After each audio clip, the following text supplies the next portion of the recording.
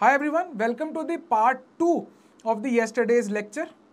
अगर किसी ने पार्ट वन नहीं देखा है तो उसका जो लिंक है आपको डिस्क्रिप्शन में मिल जाएगा ये वीडियो सीरीज के अंदर हम लोग वीकली करंट अफेयर्स को कवर करते हैं दो पार्ट्स के अंदर पिछले हफ्ते के जो हॉट टॉपिक्स होते हैं करंट अफेयर्स के जिनकी बहुत ज़्यादा प्रॉबेबिलिटी होती है एग्जाम में आने के लिए उनको हम दो पार्ट्स में कवर करते हैं this is the second part my name is Rohit Garcha this is Abhimanyu I A S which has more than 25 years of experience in this particular field and has given out more than 2200 positive selections since 1999. Let's begin the lecture and for complete course watch till the end of the video जहाँ पे मैं आपको detail में बताऊंगा कि what the master course of current affairs 2024 is all about. Right now sit attentively try to understand each and everything. Let's begin. ठीक है done है इसमें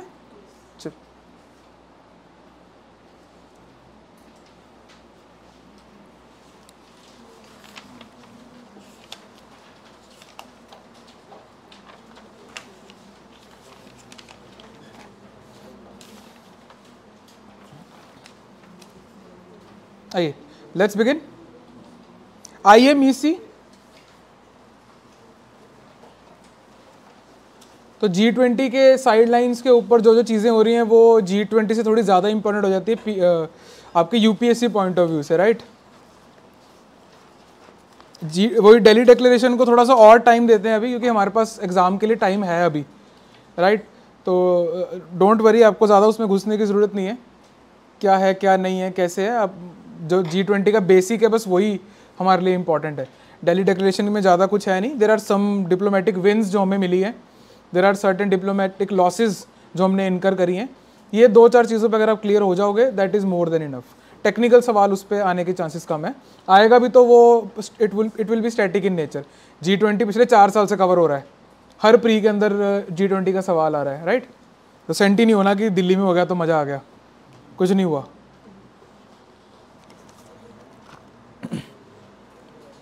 चलिए India Middle East Europe economic corridor economic corridor बहुत simple होता है ये तो आपको लगी क्या पता हो अभी तक एनीथिंग दैट uh, uh, आप फैसिलिटेट्स योर इकोनॉमी है ना तो वो आपका इकोनॉमिक कॉरिडोर में फॉल करता है और इकोनॉमी कैसे करती है आपका flow of money and goods and information right इसको हम इकोनॉमी इसके थ्रू रन करते हैं तो इसके अंदर भी वही चीज़ है uh, आपको जो चीज़ याद रखनी है दैट इज़ नंबर वन यहाँ पे टेबल गिवन है आपको है ना participating countries India Saudi Arabia UAE France Germany Italy USA and European Union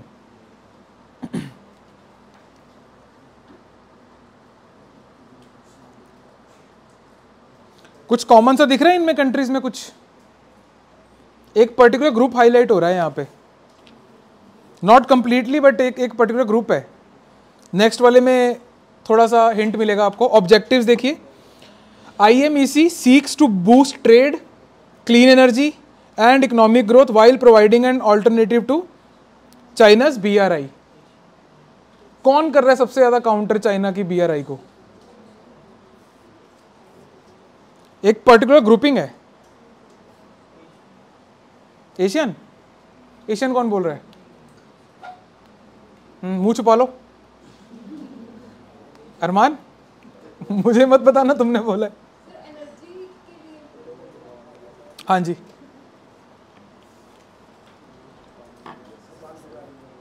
मतलब इकोनॉमिक वो तभी मैंने आपको स्टार्टिंग में क्लियर कर दिया था कि इकोनॉमिक इकोनॉमिक कॉरिडोर है ये सब कुछ इंक्लूड करेगा आप जब कॉरिडोर बना ही रहे हो राइट तो उससे आप आ, हम फ्रांस से वो क्यों नहीं मंगवा सकते ब्लेड्स आपके विंटर माइंस के तो तो क्लीन एनर्जी में फॉल करेगा ना फ्रांस से अगर मैं एक पूरा विंड फार्म मंगवा लूँ यहाँ पे इंस्टॉल करने के लिए will it fall under the category of clean energy let me rephrase it will fall under the category of clean energy full stop समझ रहे मैं क्या बोल रहा हूँ बच्चे क्लीन एनर्जी पे डाउट था ना आपका अच्छा all right spend some time with your thought देखो वो क्या कहना चाह रहा है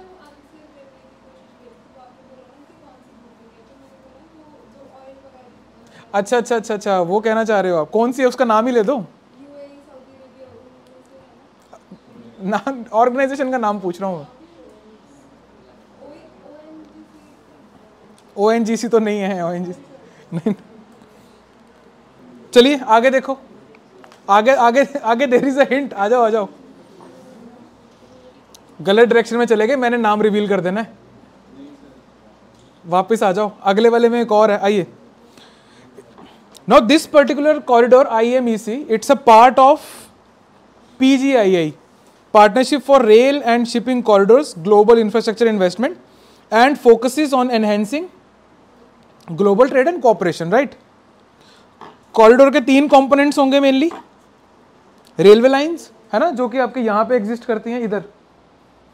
यहाँ पे बनेंगी रेलवे लाइंस इसके अलावा electricity cable and a clean hydrogen pipeline and last one is high speed data cable वो जो हमने पहले पढ़ी थी अंडर सी केबल जो होती है सीबेड केबल्स राइट उसकी बात हो रही है यहाँ पे कॉरिडोर के दो सेगमेंट्स है बच्चे ये इंपॉर्टेंट है आपके लिए आईएमईसी e के दो सेगमेंट्स होंगे विच इज ईस्टर्न कॉरिडोर ये वाला connecting India to your gulf Arabian gulf और उसके बाद में अरेबियन गल्फ से आगे यूरोप के अंदर राइट अगर आपने एशिया से अगर आपने एशिया से यूरोप को कनेक्ट करना है राइट तो आपके पास दो दो रूट्स होते हैं मेन मतलब क्योंकि एयर एयरवे भी है वैसे तो but it is very costly उसमें पर पर टन जो कॉस्ट है वो बहुत ज़्यादा हाई है बहुत ही ज़्यादा हाई है राइट सो ये दो टाइप के रूट्स हैं by the way this is B R I belt and road initiative right जो लैंड से जा रही है इसको बेल्ट कहा जाता है जो सी से जा रही है उसको रोड कहा जाता है राइट right? ये कन्फ्यूजन है उसके अंदर ये आया हुआ है सवाल पहले राइट तो ये दो रोड्स हैं और हम जो करना चाह रहे हैं वो यहाँ से इधर को टच करना चाह रहे हैं और हम इधर से जाना चाह रहे हैं चाइना के पास ऑलरेडी इससे बेटर इससे कॉम्प्रिहेंसिव प्लान है इसी को काउंटर करने के लिए हम ये सब खोल रहे हैं हमने लास्ट टाइम भी एक और प्लान पढ़ा था जो कि नॉर्थ साउथ कॉरिडोर था है ना इकोनॉमिक कॉरिडोर और हम इधर को जा रहे हैं विच इज़ आई ठीक है ये सारे कॉरिडोर्स आपके लिए इंपॉर्टेंट है और ज़्यादा है नहीं तीन या चार हैं सारे कॉरिडोर्स आपको याद होने चाहिए कहाँ से किसको टच कर रहा है बहुत basic basic information right Now, this particular initiative, Partnership for Rail and Shipping Corridors, Global Infrastructure Investment, इसके ऊपर कुछ लिख लेते हैं ये भी इंपॉर्टेंट हो गया हमारे लिए it is a collaborative effort by here you get the answer G seven nations China को काउंटर करने के लिए जी सेवन लगता है और उन्होंने ओपनली इसका मुद्दा उठा रखा है जी ट्वेंटी नहीं कर सकता ओपनली जी ट्वेंटी रशिया को भी नहीं ओपनली क्रिटिसाइज कर पाया था वो यूक्रेन के साथ भी ज़्यादा स्ट्रॉन्ग लैंग्वेज में बोल नहीं पाया था राइट तो जी सेवन कर सकता है जी सेवन के अंदर China is not a party right तो जी सेवन ओपनली बोलता है कि हम तो ये कर रहे हैं लिख लीजिए it's a collaborative effort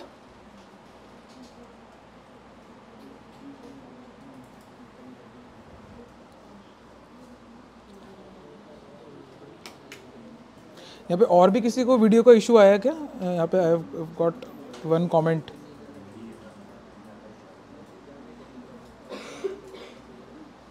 please confirm ताकि मैं कंटिन्यू कर सकूँ इसको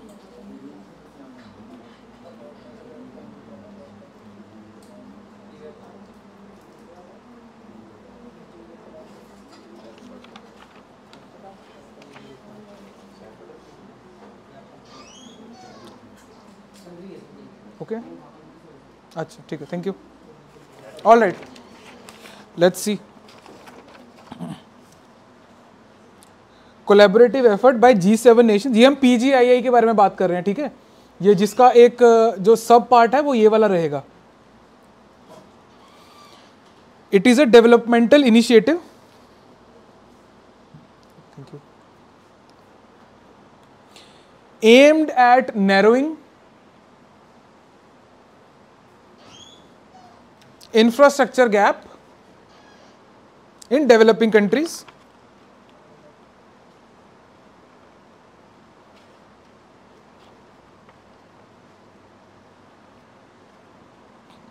या in developing countries full stop पर ये सब हमें पता है अब हम तो इतने चलाक तो हो गए हमें पता है कि ये क्या बोल रहे हैं और ये करना क्या चाह रहे हैं है ना it's just a counter of B और बी एक टेक्स्ट बुक एग्जाम्पल है डेवलपमेंट पहुंचाने का कहीं पे डेवलपमेंट नहीं हो रही सड़क बना दो उसे बस मेन स्ट्रीम इकोनॉमी में कनेक्ट कर दो बात खत्म हो जाती है राइट डेवलपमेंट वहाँ पे तब पहुँचती है जब कहीं पे सड़क पहुँचती है पहले और उसके बाद में इलेक्ट्रिसिटी पहुँच जाती है राइट ऑटोमेटिकली डेवलपमेंट जो है सीप इन करती है next we go in digital infrastructure यही आपको इंडिया में भी फॉलो होता हुआ दिखेगा हमारे पास में पहले Pradhan Mantri Gram Sadak Yojana P M G S Y है ना उसके बाद में रूरल इलेक्ट्रिफिकेशन के प्लान्स आए उसके बाद में digital India right so this is a text book example अगर डेवलपमेंट करनी है ये मेथड है इसके बाद में जब भी नेक्स्ट कोई टेक्नोलॉजी आएगी अब कौन सी आ रही है ए आई अब हम उसको देखेंगे कैसे अंदर तक सी पिन करवाना है परकुलेशन कैसे करनी है राइट एक टेक्स्ट बुक एग्जाम्पल है ये all right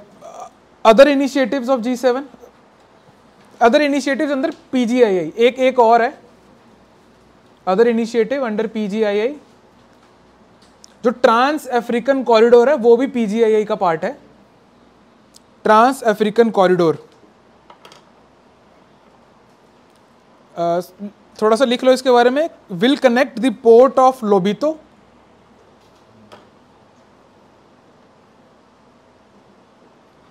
all it's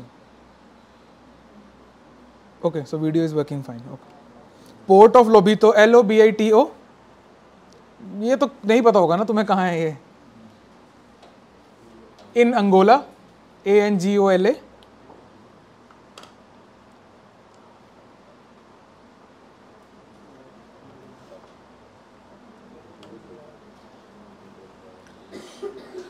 with Katanga province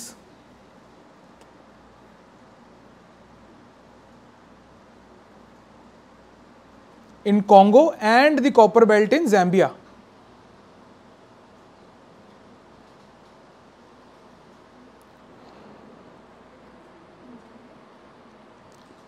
हाँ Zambia Z A M B I A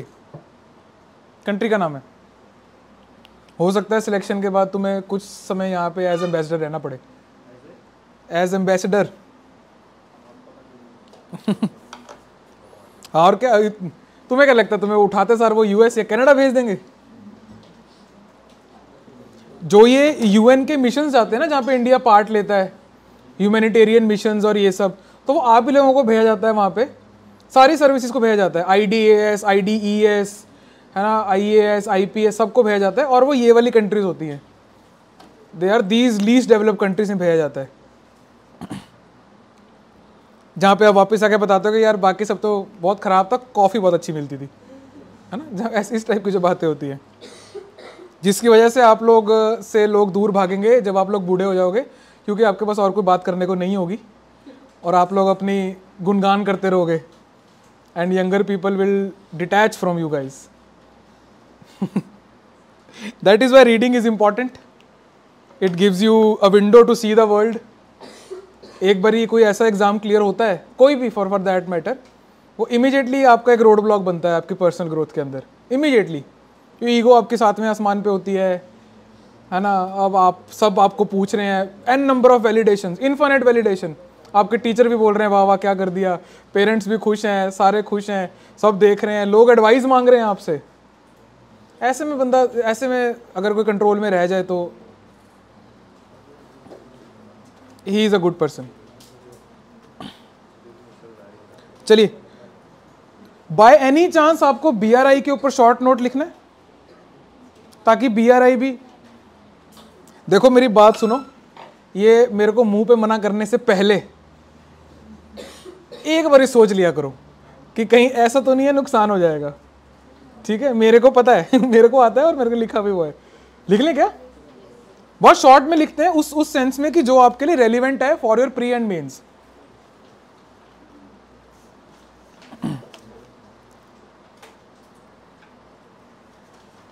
short में लिखते हैं started in 2013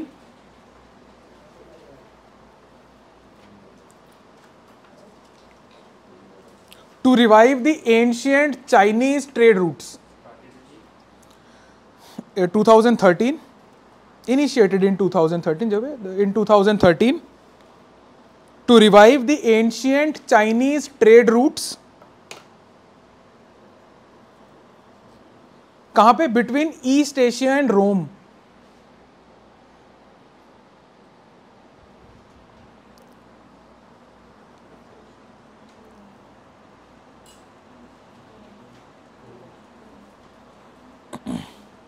issues with B R I ये हम थोड़ा कम पढ़ते हैं जब हम देखते हैं इसको issues with B R I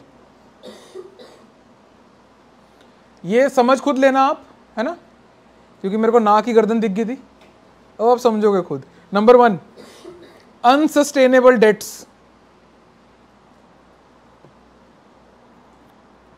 World Bank की रिपोर्ट है बाय द वे इसके ऊपर कि 43 कॉरिडोर में से 12 ऐसे हैं जो कि आपके श्योर शॉट डेट में जाएंगे और अनसस्टेनेबल है फिजिकली दैट मीन्स कि जब कोई प्रोजेक्ट अनसस्टेनेबल होता है that particular area that becomes the area of China itself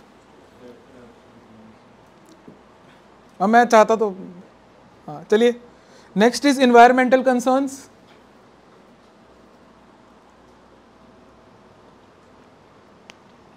ठीक है अब चाइना को कहाँ पड़ी है किसी जगह पे इन्वायरमेंट बचाने की मुद्दा ही कुछ और है नेक्स्ट इज करप्शन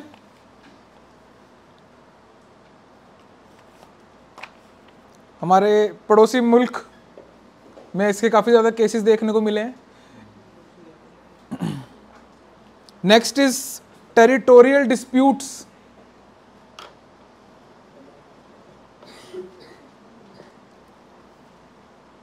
जो ये काशगार और वो गदावर पोर्ट के बीच में जा रहा है वो पीओके से होता हुआ जा रहा है राइट right? सो so, वो इसके अंदर आ रहा है ऐसे ही सिमिलर आपको डिस्प्यूट्स और जगह भी देखने को मिलेंगे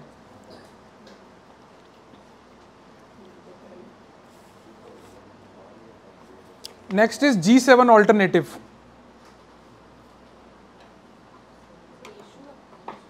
हाँ जी सेवन आपको बहुत ज़्यादा ट्रांसपेरेंट है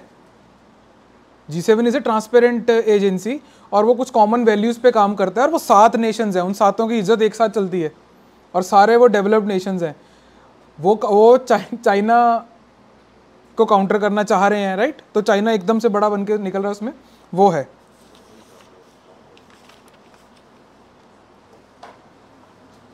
जी सेवन में कौन कौन सी कंट्रीज हैं यार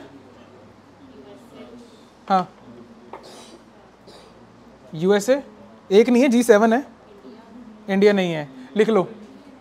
लिख, लीजिए जी सेवन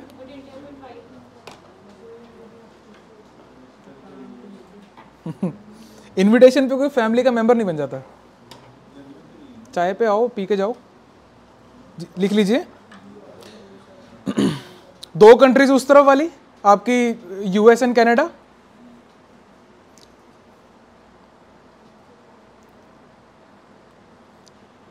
चार कंट्रीज आपकी European which is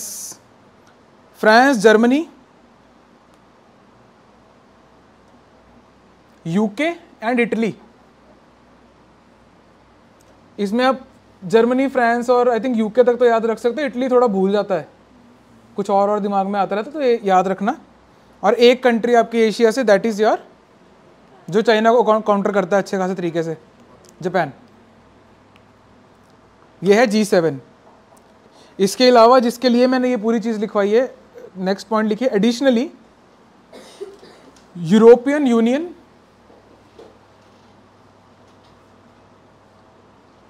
is a non enumerated member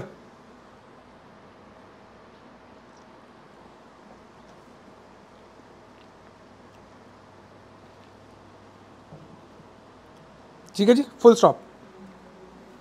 अगर हम पूछेंगे जी सेवन का यूरोपियन यूनियन मेंबर है या नहीं तो बनेगा नहीं है ना और अगर एसोसिएटेड है कैसे एसोसिएटेड है it is a non enumerated member और कोई भी जो इस टाइप की ग्रुपिंग बनती है उसका एक कोई कॉमन ग्राउंड होता है राइट right? को, कोई भी आप ग्रुपिंग देखेंगे उसका कोई कॉमन ग्राउंड है जी ट्वेंटी का भी कॉमन ग्राउंड आपको मिल जाएगा हर कोई भी एशियन का कॉमन ग्राउंड मिलेगा उसका कल्चर से लिंक्ड है राइट तो जी सेवन का जो कॉमन ग्राउंड है it is the shared value of liberal democracy है ना प्लूरलिज्म लिखना लिख लीजिए it is organise around shared values of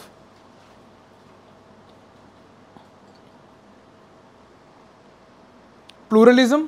हालांकि ये प्लूरलिज्म जापान के लिए थोड़ा सा वैलिड नहीं है but this is how they portray themselves pluralism liberal democracy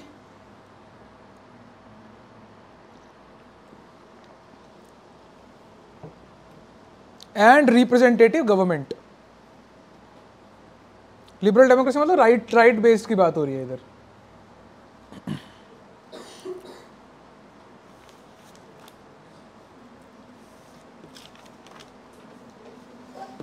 चलिए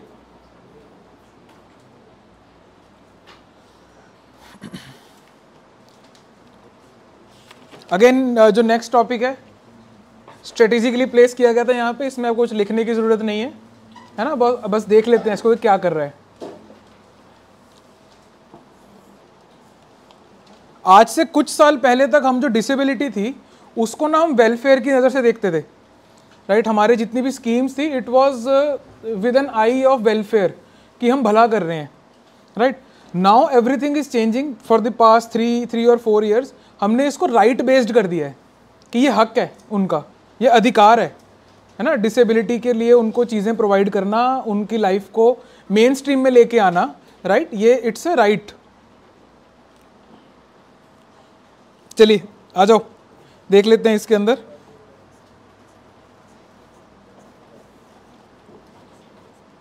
आप लोगों को देख के ना मेरे को एक वो याद आ रहा है I went to a place recently उन्होंने ना बहुत अच्छा से एक एक्वेरियम रखा हुआ था और उसमें बड़ी बड़ी मछलियाँ थी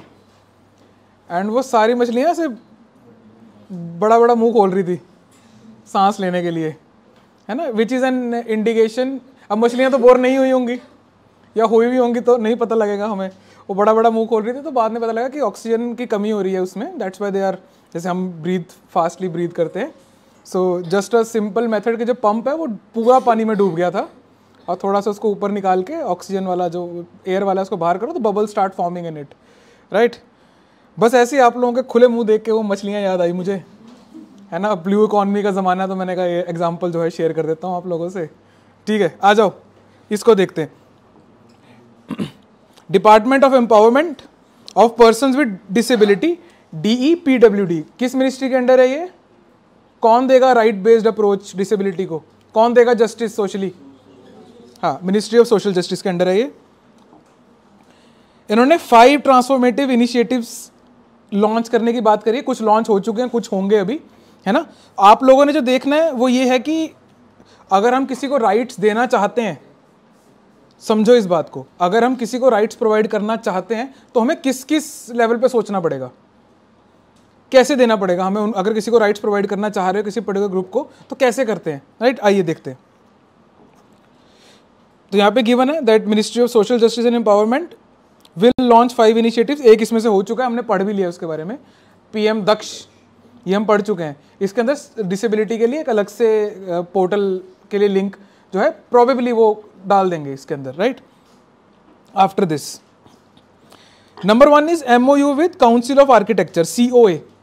right क्या करेगा वो to mandate universal accessibility courses in bachelor of architecture programmes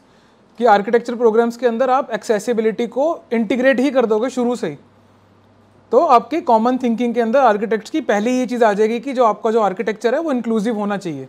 right अभी हमें स्पेशली करना पड़ता है इनफैक्ट अगर कहीं पे किसी मार्केट में रैंप बन जाता है ना तो वो एक चुनाव का मुद्दा बन जाता है राइट बट हम बोल रहे हैं कि उनका तो अधिकार था अधिकार दे के आप ऐसे कैसे बोल सकते हो राइट सो वो इसके ऊपर मुद्दा है कि अगर आप एक एम साइन होगा उसके साथ में काउंसिल ऑफ आर्किटेक्चर के अंदर और इसको कोर्स का मुद्दा ही बना दोगे आप right it will develop a certified course also it will develop the certified course for architects and civil engineers to conduct accessibility audits ये जो पर्टिकुलर पॉइंट है ये मैंने आपको इसलिए डाल के दिया था जब आप एथिक्स के अंदर आंसर्स लिखते हो ना बच्चे तो इस टाइप की टेंजिबल चीज़ें लिखनी होती हैं राइट right? अब इसमें कितनी टेंजिबल चीज़ बोली है कि हम इन लोगों को तैयार करेंगे to conduct accessibility audits right this is such a practical approach right तो एथिक्स के आंसर के अंदर जो कि जब सब जहाँ पे सब कुछ हवा में होता है तो आप इस टाइप के एग्जैक्ट सोल्यूशंस दे के right you can gain more marks actually वो चाह ही रहे हैं next is releasing anonymous data of U D I D U D I D is by the way unique disability I D right तो जो भी डिसेबल्ड पर्सन है उनकी एक अलग से आईडी होती है इसको यू डी बोलते हैं तो यू डी से लिंक करके कुछ एनोनिमस डेटा प्रोवाइड किया जाएगा फॉर रिसर्च पर्पसेस है ना data driven decision making in the disability sector किसी भी तरीके से यूज़ हो सकता है आई um, थिंक ये भी आपका एक ओपन uh, सोर्स ही रहेगा ये वाला डेटा भी ताकि आप बेटर पॉलिसीज़ बना सको अभी भी जो हमारे राइट्स हम प्रोवाइड करते हैं ये हम हम सिविल सोसाइटीज़ के थ्रू ही मेजरली प्रोवाइड करते हैं that is why we have umbrella schemes जहाँ पे हम लोग एन को सपोर्ट करते हैं पैसा वैसा देते हैं उनको स्ट्रेट फॉरवर्ड एन की पर्कुलेशन सरकार से कहीं ज़्यादा है और रहेगी क्योंकि एन वहीं से उठती हैं उसी मिट्टी से बनती हैं सरकार इज़ समथिंग एक्सटर्नल है ना वो टॉप डाउन अप्रोच पे आती है एन वहीं ग्राउंड लेवल पे होती हैं next we have M Daksh portal इस पर तो बिल्कुल भी बात नहीं करेंगे हम क्योंकि हो चुकी है ना लास्ट इज इसी के नीचे गिवन है फिफ्थ पेज के ऊपर pathways to access some editing error is there next page पे होना चाहिए था जो जजमेंट्स हैं उनको एक बुकलेट के through as a reference provide किया जाएगा right which will be a guide for the stakeholders कि किस जजमेंट में क्या बोला हुआ है राइट right? उसको कंपाइल करके डेटा एक बुकलेट में डाला जाएगा गाइडेंस के लिए last we have online case monitoring portal by the chief commissioner for PWD ठीक है जी ग्रेवियंस हैंडल करना है ऑनलाइन कंप्लेंट फाइलिंग करनी है हेयरिंग वगैरह ये सब कुछ जो है आपका ऑनलाइन पोर्टल के थ्रू सीसीपीडी इस इसका नाम नहीं आया अभी तक पोर्टल का पर ये भी कोई टेढ़ा मेढ़ा से ही नाम होगा जैसे ही आएगा हम यहाँ पे इंटीग्रेट कर लेंगे ठीक है जी तो ये पांच तरीकों से ये जो है राइट बेस्ड अप्रोच के साथ में डिसेबिलिटी को देखा जाएगा by D P W D right simple enough चलिए आगे चलते हैं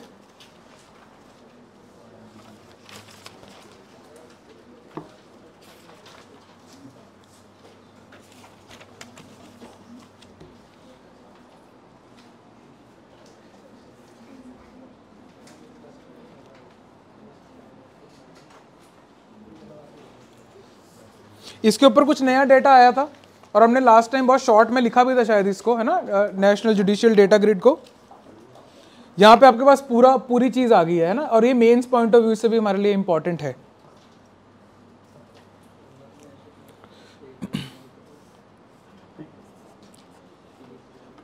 फर्स्ट ऑफ ऑल तो आपने यही याद रखना है कि सुप्रीम कोर्ट का इनिशिएटिव है ठीक है जी टॉप पे लिखा हुआ है इसमें if you see the first point the integration with the D J as a part of an open data policy क्या होगा ओपन डेटा पॉलिसी से ट्रांसपेरेंसी ट्रांसपेरेंसी आप आप खुद भी सोचो अगर कहीं पे ओपन डेटा होता है तो वहां पे आपका ट्रस्ट भी बिल्डअप होता है राइट right? आपका ट्रस्ट बिल्डअप होएगा अगर आपने आ, इसका एग्जांपल सोचना है फॉर एग्जांपल अब ये पता नहीं आप कहाँ लेके जाओगे इस बात को कईयों के व्हाट्सएप पे लॉक होता है है ना और इफ़ इफ़ देर पार्टनर और समवन वो उसको एक्सेस करना चाहेंगे अगर तो एक्सेस मिल गया हालांकि I am pro privacy very pro privacy मेरा पर्सनल ओपिनियन मैटर नहीं करता वैसे यहाँ पे बट जैसी ट्रांसपेरेंसी इंट्रोड्यूस होती है ना वहाँ पे वहाँ पे ट्रस्ट बिल्डअप होता है है ना हम्म। तो आपको आने वाले टाइम में कई जगह पे आपको ओडीपी देखने को मिलेंगी ओपन डेटा पॉलिसी देखने को मिलेंगी ऑलमोस्ट हर जगह पे यही this is the future other than the आपका जो ओ एक्ट के तहत में जो एजेंसीज हैं राइट अब आप जाके आर एंड ए डब्ल्यू का नहीं देख सकते रॉ का रॉ का जाके नहीं देख सकते आप डेटा है ना आईबी का नहीं देख सकते हो अदर देन दैट आइए आगे देखते हैं क्या है अबाउट में देखिए it's a national repository of data relating to cases instituted cases instituted, pending and disposed of by the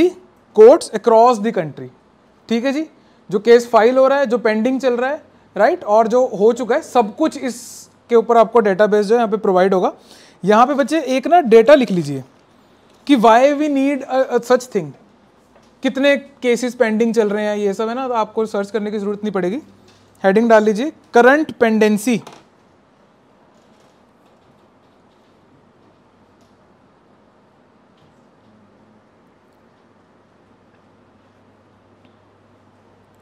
ये मैं आपको बिल्कुल लेटेस्ट अगस्त 2023 का डेटा बता रहा हूं इससे लेटेस्ट डेटा अवेलेबल ही नहीं है लिख लीजिए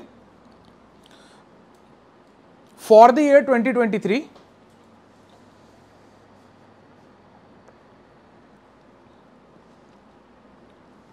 the total pendency of registered cases in Supreme Court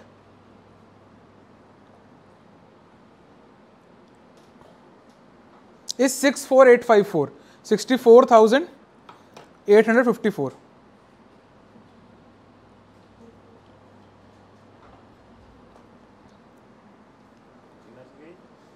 Six four eight five four.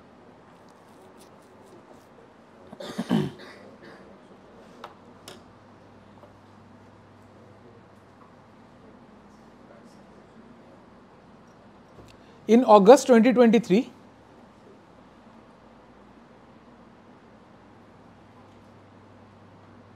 अब ऐसा नहीं है कि ये डेटा आपको थोड़ा सा और एक क्लियर पिक्चर देगा है ना 5412 cases were filed exact number याद रखने की ज़रूरत नहीं है बट समझना क्या हो रहा है कि क्यों पेंडेंसी हटाई जा सकती है 5412 cases filed and 5033 cases were disposed.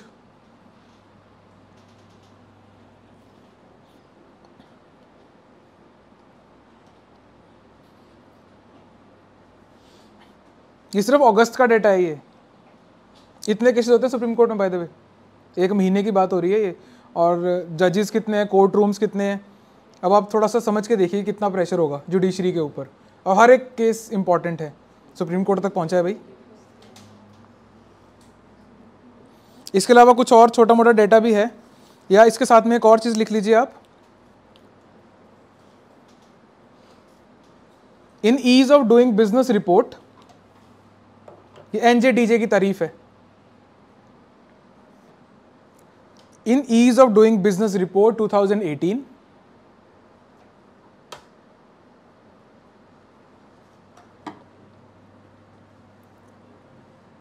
the World Bank commended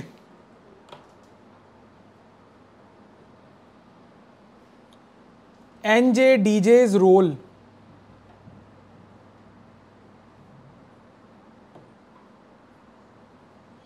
full stop क्यों किया होगा यहां थोड़ा सा थोड़ा सा दिमाग लगाओगे तो आप पहुंच जाओगे ease of doing business report है उसमें जुडिशरी की तारीफ हुई है क्यों कौन से वाले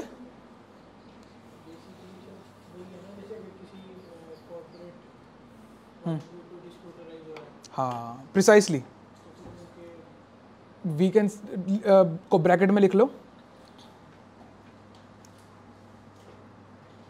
फैसिलिटेटेड कॉन्ट्रैक्ट एनफोर्समेंट इस वजह से ये पॉइंट मैं आपको इसलिए लिखवा रहा हूँ ये बहुत out of the box point है वैसे यहाँ पे ये ये बैठता नहीं है जब हम N N J D J पढ़ रहे हैं why it is being told to you is because कि ये लिंक्ड कैसे होते हैं एक जुडिशियल रिफॉर्म है जुडिशियल रिफॉर्म इंडिया में हुआ और इससे वर्ल्ड बैंक ने हमारी रैंकिंग इम्प्रूव करवा दी और हमारे हमारी रैंकिंग इम्प्रूव हुई in your ease of doing business that is why everything is integrated तभी मैं आपको कई बार बोल चुका हूँ कि जब आपके सारे स्टैटिक सब्जेक्ट खत्म हो जाएंगे उसके बाद में आप जब इस क्लास में आओगे या फिर इन जनरल कुछ पढ़ोगे आप किसी और ही लेवल पे जाके सोच रहे होंगे चीज़ों को because everything is interlink यहाँ पे एक जुडिशियल रिफॉर्म को हमने एक ईज़ ऑफ डूइंग बिजनेस से लिंक किया है और ये डायरेक्ट एग्जाम्पल है यूपीएससी यही चाह रहा है आपसे बस अगर आप क्वेश्चन देखोगे ऐसी दो रैंडम चीज़ों को उठा के पूछ लेगा लिंक क्या है आई एम टेलिंग यू उन दोनों में लिंक होगा ही होगा अभी बता रहा हूँ मुझे पता भी नहीं है वो दो चीज़ें कौन सी हैं पर उनमें लिंक है है ना वो क्या है वो आप ऐसे छोटी मोटी चीज़ें दिमाग लगा के देख सकते हो राइट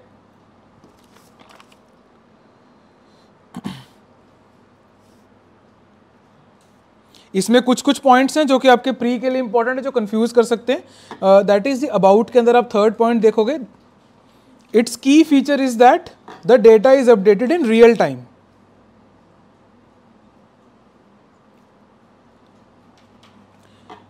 और ये किसका पार्ट है it is e courts project का part which is a centrally sponsored scheme ठीक है ये दो चीज़ें इंपॉर्टेंट हैं इसमें developed by NIC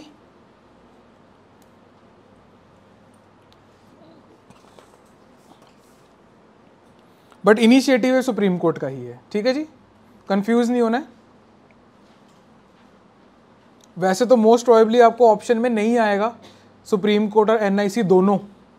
है ना इनकेस अगर आ गया तो read the question very carefully कि वो टेक्निकल डेवलपमेंट की बात कर रहा है या इनिशिएटिव की बात कर रहा है ठीक है ये थोड़ा सा ध्यान में रखना है आपने अगर ये सवाल आ गया और ये दो ऑप्शन उसमें होंगे आई कैन गारंटी इंडिया के इंस्टीट्यूट दो हिस्सों में डिवाइड हो जाएंगे आंसर कीज के मामले में कि ये क्या बोलने वाला है बट आप बहुत इसको क्लियर रखो अपने माइंड में यूपीएससी वर्ड्स पे ही खेलेगा अगर खेलेगा तो चलिए बच्चे आगे चलें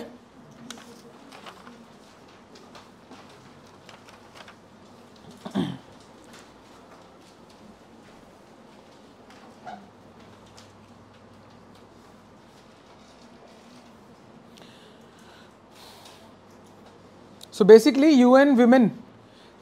ने एक रिपोर्ट रिलीज करी है जिसका नाम आपके टाइटल में है progress on sustainable development goals the gender snapshot 2023 right एक तो सीधा सवाल तो यही बनेगा कि छोटे मोटे ये किसने दिया है रिपोर्ट इस टाइप के मेंस पॉइंट ऑफ व्यू से इसके अंदर बहुत सारी चीज़ें हैं दैट इज़ वाई आज ये फीचर कर रही है टॉप नाइन के अंदर ये करंट अफेयर क्या किया है इसने the report provides a comprehensive analysis of the current state of gender equality across all 17 Gs ये हैं जीज आपके 17 एस बाय द वे आपको याद हो जाने चाहिए अब तक है ना इसके ऊपर सवाल आते हैं और बहुत स्ट्रेट फॉरवर्ड सवाल होता है बहुत सिंपल सवाल होता है एक सिंपल सवाल जब आपको दो नंबर दे के जाता है ना वो बहुत इंपॉर्टेंट होता है किसी भी एग्जाम के अंदर राइट तो एस याद कर लेना जैसे भी करने हैं आपको एक बार याद कर लोगे ये दो तीन साल भूलोगे नहीं आप और ये 2030 तक वैलिड है है ना तो आई थिंक आपके अटैम्प्ट एग्जॉस्ट हो जाएंगे ये वैलिड रहेगा तो इट इज़ गुड कि इसके ऊपर आप इन्वेस्ट करो तो थोड़ा सा डिटेल में पढ़ना इसको इसके आगे कॉम्पोनेंट्स भी हैं कि क्या मतलब है जेंडर इक्वालिटी का क्या मतलब है क्वालिटी एजुकेशन का इन सब के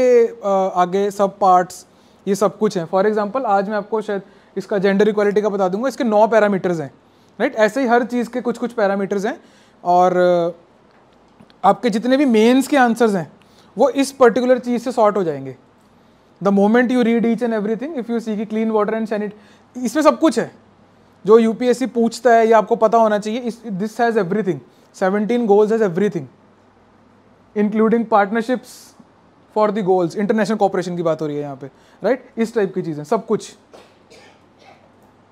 आइए रिपोर्ट में देखते हैं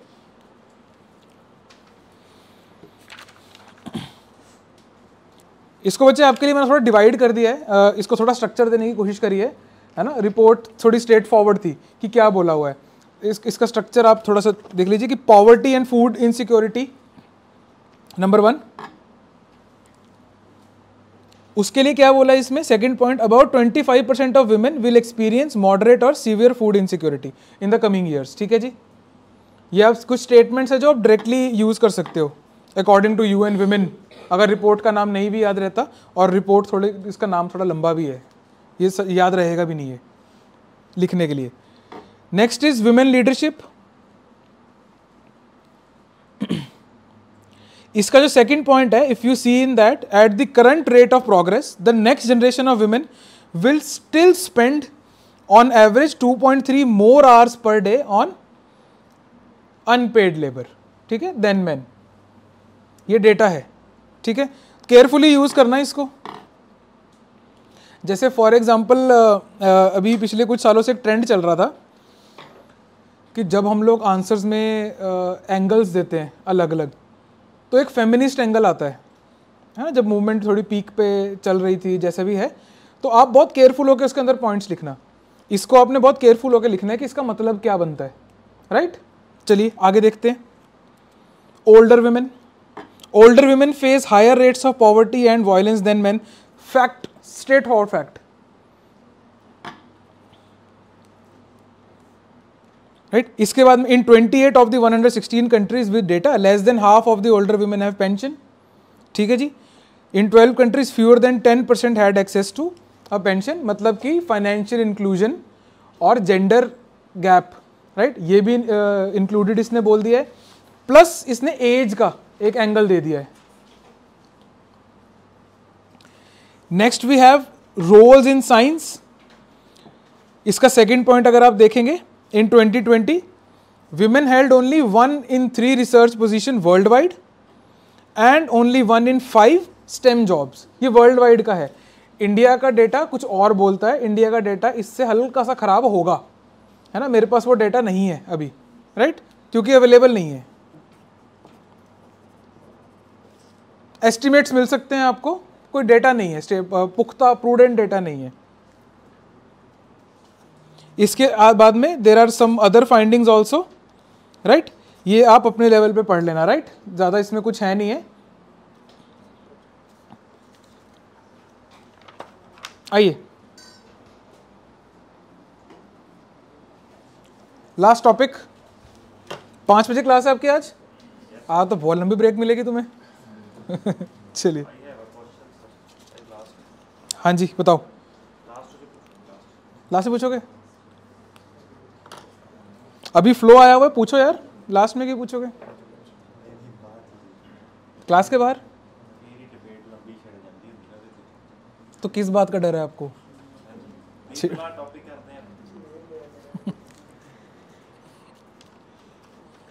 अच्छा ड्राइविंग सीट पकड़ ली है कि कौन सा टॉपिक कब डिस्कस होगा मैं बताऊंगा कोई नहीं फिर हम क्लास के बाहर करेंगे अब ठीक है चलिए अर्थक्वेक आया अर्थ को अर्थक्वेक सी ये वाला जो रीजन इसको थोड़ा समझते हैं पहले ये वाला जो पर्टिकुलर रीजन है ना ये इट इज़ अफ्रीका का अपर पार्ट है ना और ये particular area it is not known for earthquakes यहाँ पे कम आते हैं अर्थक्वेक्स अब क्योंकि अर्थ को कम आते हैं इसलिए जो इनका आर्किटेक्चर है वो रेजिलियंट नहीं है क्यों बनाओगे आप क्यों पैसा लगाओगे इसके ऊपर इस वजह से जब आ, आते हैं अर्थ तो वो डेवेस्टेटिंग होते हैं that is why you see कि इतने ज़्यादा हाई नंबर के अंदर डेथ्स हो गई हैं right this is the reason क्योंकि कम आते हैं इसलिए रेजिलियंट नहीं है इसलिए अवेयर नहीं है कोई लास्ट जैसे कोई बड़ा डिज़ास्टर आए हुए अगर कुछ साल बीत जाते हैं तो लोग भूल जाते हैं लोगों की मेमोरी वीक है कोई भी कोई भी डिज़ास्टर कोई भी हैपनिंग क्यों ना हो राइट लोग नहीं याद रखते हैं राइट वो कारण है दैट इज़ वाई ये वाले टॉपिक को हम थोड़ा सा इंपॉर्टेंस दे पढ़ रहे हैं एक तो वो प्लेट्स एंड ऑल के एंगल से देखेंगे इसको राइट वो तो इसमें गिवन ही है राइट उसमें मैं ज़्यादा कुछ नहीं बोलूँगा है ना दूसरे एंगल से हम देखेंगे कि ये मोरक्को है क्या है ना मोरक्को के आजू बाजू क्या लगता है और ये सब चीज़ें international relation map work kind of things आइए again causes cause of earth को एक गिवन है वहां पे कॉज ऑफ अर्थ को आई थिंक आपको पता ही होगा क्या है जो एरिया है again it's it's on the boundary of what of the African and Eurasian tectonic plates ठीक है जी और यहाँ पे दो टेक्टोनिक प्लेट्स के बीच में इंट्रैक्शन है और कभी कभी इंट्रैक्शन की वजह से सडन रिलीज ऑफ एनर्जी भी होती है विच कॉजेज योर अर्थ और जो कि यहाँ पे हुआ है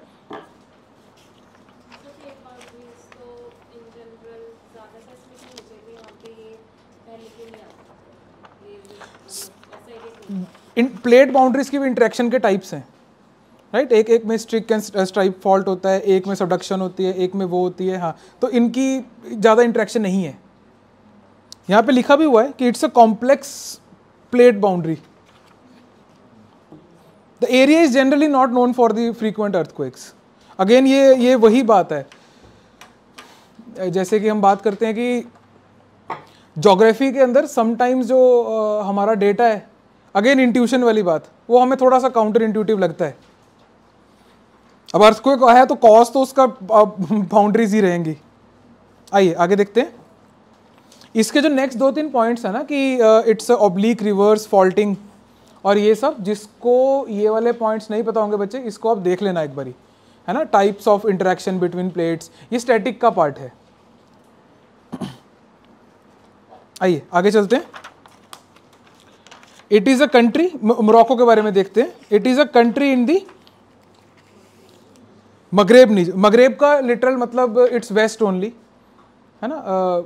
जैसे हम नॉर्थ वेस्ट ईस्ट साउथ करते हैं ये भी आप बना सकते हो वैसे ये कई बार आ जाता होता है एग्ज़ाम में इसको मगरेब बोलते हैं वेस्ट को लिख लीजिए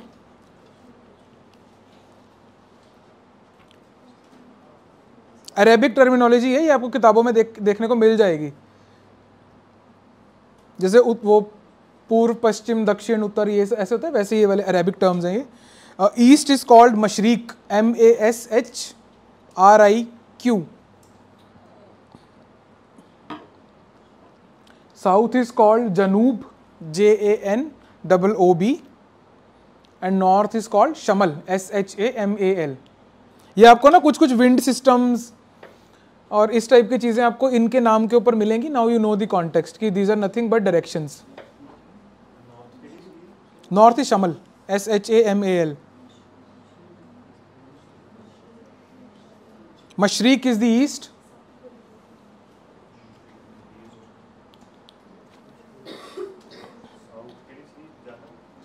जानम नहीं है जनूब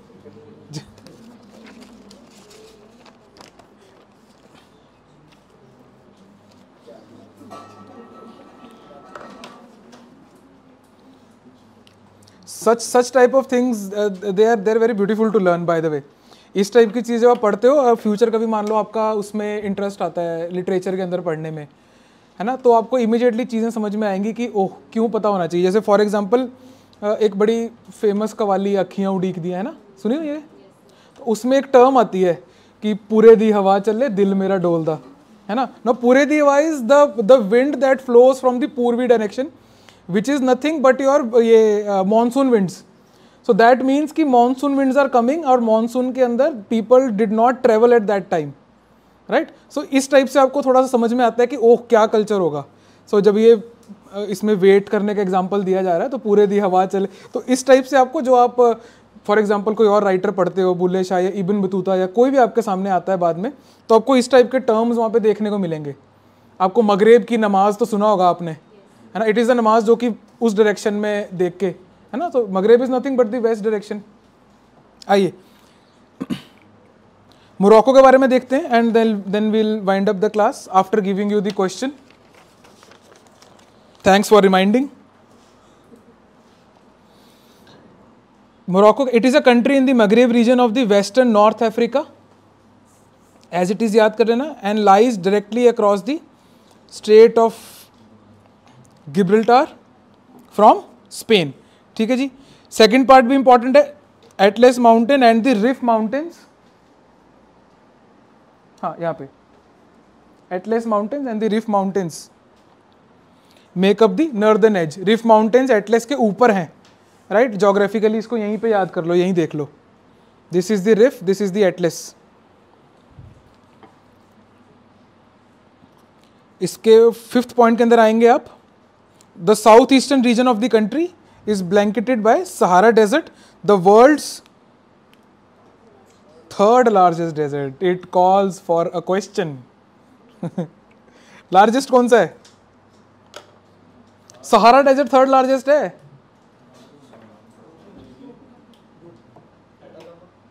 हम्म छोटा सा है ओ गोभी तो पराठे बना लो आप नहीं है ऐसे वाले नहीं है गलत डायरेक्शन में सोच रहे हो ओहो अच्छा वो कंफ्यूजन है गलत जगह सोच रहे हो यप रेत वाल रेगिस्तान की बात नहीं हो रही है ये desert cold desert is also a desert right so largest desert is Antarctica Antarctica is nothing but Arctic का ओपोजिट एंट आर्कटिक है ना एंटार्क्टिका तो सेकंड लार्जेस्ट कौन सा हुआ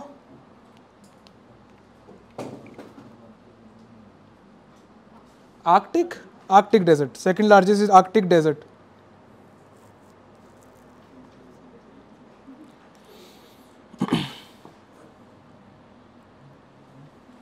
इसके थर्ड लास्ट पॉइंट के अंदर it has it is bordered by two countries of western Sahara to the south and Algeria to the मिल गया आपको कहाँ लिखा हुआ ये मेरा घूम गया अल्जीरिया टू द ईस्ट या इसके बाद में एक ट्राइब ग्रुप है यहाँ पे बर्बर्स जिसके ऊपर एक टर्म है है ना वो क्योंकि इसी ट्राइब से वो नाम आया they have renamed them self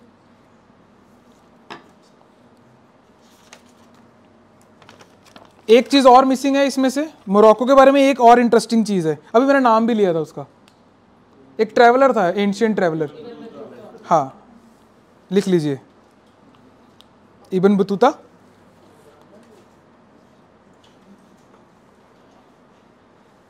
visited during the reign of हाँ Mohammad bin Tughlaq M B T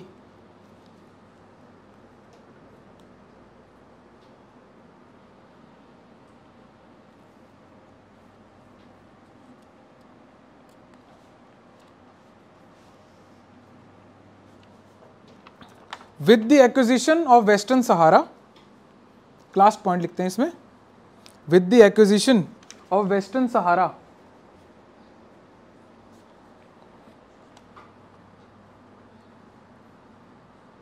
Morocco now possesses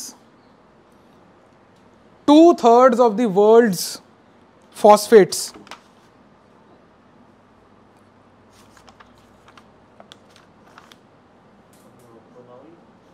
Morocco now possesses two thirds of the world's reserves for phosphates.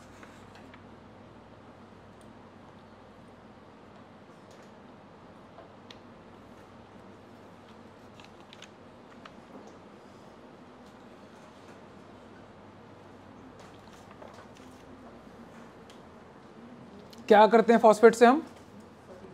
Fertilisers right right? चलिए let's write the question ये हम food security के ऊपर क्योंकि आज हमने food security के ऊपर दो करंट अफेयर करे हैं ट्राई करना इसको लिखने की ईजी है ज़्यादा ज़्यादा कुछ नहीं है इसके अंदर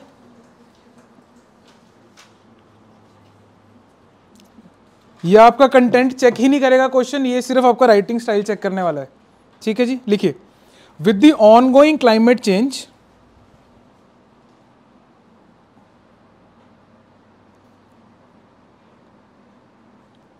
and food crisis in the world.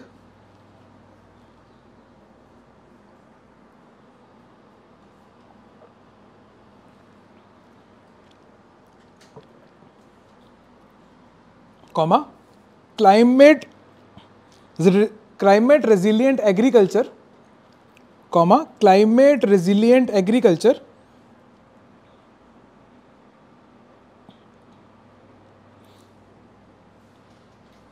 should be the top priority of the nations.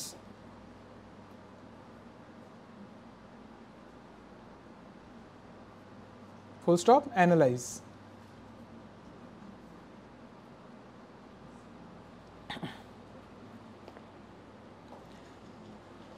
I took a pause just to see की शुड की जगह मस्ट कर दें तो कैसा रहेगा अगर हम शुड की जगह मस्ट कर दें तो आप डू यू थिंक कि the question will change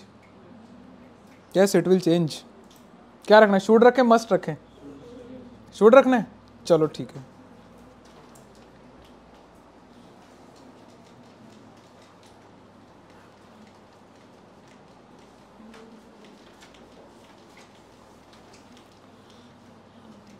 all right बच्चे थैंक यू सो मच आज आपकी क्लास जल्दी ख़त्म हो गई है राइट right? ठीक है all right thank you so much online so that is all about today's lecture I hope कि आज जो हमने पढ़ा है इसमें से आपके प्रिलिम्स और मेंस में कुछ रेलिवेंस के साथ सवाल आ जाएं अगर सवाल आ गया इसमें से you will definitely be having an edge over a major population of India who is preparing for the same examination right now let me tell you about the current affairs master course 2024 इस course के अंदर आपको basically तीन चीज़ें मिलती हैं जिसके through आपका जो करंट अफेयर्स है वो पूरी तरह सॉर्टेड हो जाएगा for your pre mains as well as your interview number one you get weekly lectures जो कि ऑफलाइन या फिर ऑनलाइन फॉर्मेट में लाइव आपको मिलेगा Uh, क्या फ़र्क है इसमें और अभी करंट वीडियो के अंदर दैट इज़ कि इसके अंदर आपके पास में इंटरेक्शन काउंटर क्वेश्चनिंग करने की सहूलत होगी नाउ एवरीबडी नोज कि अगर आप काउंटर क्वेश्चनिंग और सवाल जवाब करते हैं तो आपकी मेंटल एबिलिटी इंक्रीज होती है आपके न्यूरल नेटवर्क्स बढ़ते हैं that is how we should prepare for anything next you get weekly P जो टॉपिक्स यहाँ पे कवर नहीं होते हैं लेक्चर्स के अंदर उसको वीकली पीडीएफ के फॉर्मेट के अंदर आपके डैशबोर्ड के अंदर प्रोवाइड किया जाता है राइट ताकि आपका कुछ भी पार्ट जो है वो मिस ना हो इसके बाहर आपको जाने की ज़रूरत ही नहीं है last you get weekly test जो भी हमने पढ़ा है उसको हम कंसोलिडेट करेंगे वीकली एक टेस्ट देके right this is the Trishul model अगर आप त्रिशूल गाड़ दोगे तो उसके बाद में आपको करंट अफेयर से परेशान होने की ज़रूरत नहीं है this is the complete course इस कोर्स के बाहर आपको कुछ भी और पढ़ने की ज़रूरत नहीं है link is in the description go check it out and subscribe to the channel ताकि आपके पास ये जो लेक्चर्स हैं ये आपको रेगुलरली आपको मिलते रहे कुछ भी चीज़ आपकी मिस ना हो अगर आपने सोच लिया है we have dreamt it we can do it जिद से जीत तक